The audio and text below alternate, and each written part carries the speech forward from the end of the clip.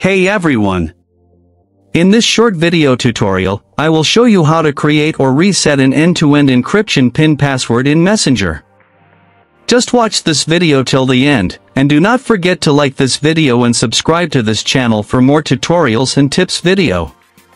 Security and privacy are our top priorities, so let's dive in and learn how to protect your messages with a PIN code.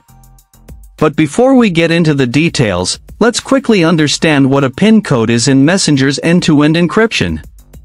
A PIN code in Messenger's end-to-end encryption is a unique six-digit password that you create to safeguard your encrypted messages. It serves as an additional layer of security and is required to restore your old messages on a new mobile device or computer. If you have already saved your chats in secure storage from Messenger, you can easily restore them on a new device using your PIN. This PIN code is the one you created when you first turned on secure storage. In case you need to reset your PIN, you must use a device that already has secure storage enabled. This ensures that only authorized users can modify the PIN code. Now that you understand the importance of a PIN code in Messenger's end-to-end encryption, Let's move on to the step-by-step -step process of creating or resetting your PIN. First, open the Messenger app on your mobile device. After that, tap on the three horizontal lines in the top right corner of the screen. Next, tap on the settings icon to open your Messenger profile.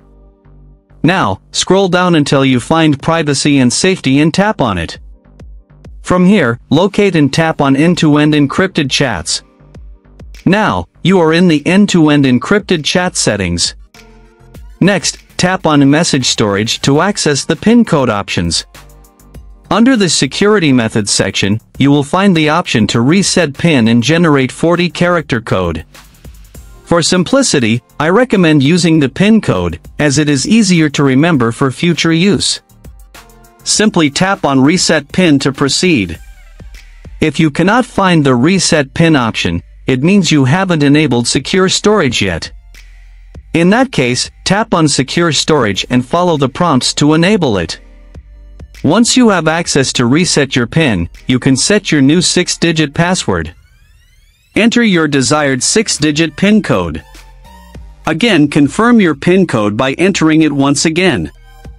You have successfully created or reset your end-to-end -end encryption PIN in Messenger. Now, your old messages are secure and can only be accessed with your 6-digit PIN code.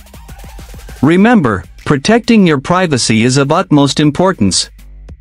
By utilizing Messenger's end-to-end -end encryption and setting a PIN code, you can have peace of mind knowing that your messages are safe from prying eyes. If you found this video helpful, don't forget to like, share, and subscribe to this channel.